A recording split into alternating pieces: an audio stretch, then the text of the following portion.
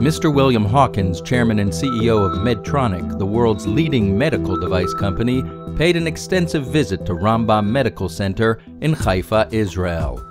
Mr. Hawkins, accompanied by senior company representatives from Europe and Israel, began the visit in a meeting with Rambam's senior management.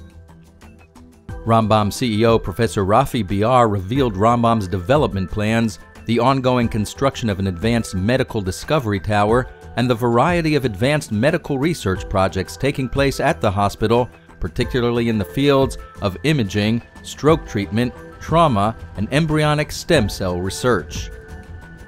Afterwards, the visitors toured the stem cells laboratory where Professor Lior Gebstein from Rambam in the Technion is working on applied research using stem cells to repair damage to the heart muscle.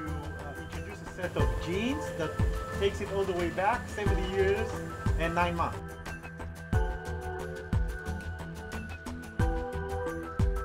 Mr. Hawkins concluded the tour by observing the huge five acre construction project underway at the hospital, which includes an underground emergency hospital, a new children's hospital, a new oncology hospital, a new cardiovascular disease hospital, and the new Legacy Heritage Research Tower.